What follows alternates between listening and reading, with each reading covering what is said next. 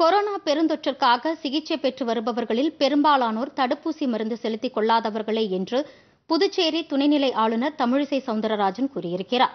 அரசு அறிவித்துள்ள அனைத்து தடுப்பு நெறிமுறைகளையும் பின்பற்றி தடுப்பூசியை செலுத்திக் கொண்டால் கொரோனா தொற்றை முற்றிலும் கட்டுப்படுத்த முடியும் என்று அவர் கூறினார்.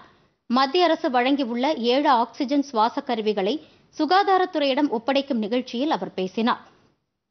புதுச்சேரிக்கு தேவையான அனைத்து மருத்துவ உதவிகளையும் தக்க நேரத்தில் வழங்கி வரும் மத்திய அரசிற்கு நன்றி தெரிவித்துக் கொள்வதாக அவர் கூறினார்.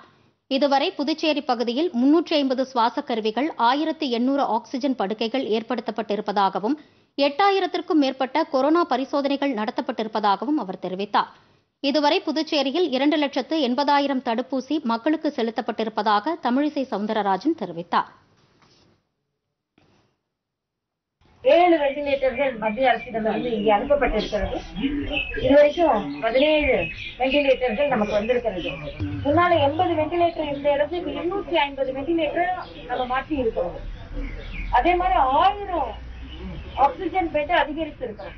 எல்லா மருந்துமே மத்திய அரசிடம் சேர்த்து வேண்டிய அளவிற்கு வைத்திருக்கிறோம். புதுவை மாடல்னே நான் சொல்லலாம். ஏன்னா இன்னைக்கு மறுபடியும் நம்ம ஊரடங்கு ஏழாம் தேதி வரை நீட்டித்திருக்கும். ஆனா மற்ற மாநிலங்கள் மாதிரி இல்லை. இங்க தளர்வுகளோடு கூடிய ஊரடங்கோட கொரோனாவை கட்டுப்படுத்தி கொண்டிருக்கும். தளர்வுகளோடு கூடிய ஊரடங்கிலேயே மற்ற மாநிலங்களைப் போல இந்த ஐம்பது சதவீதம் நமக்கு குறைந்திருக்கிறது.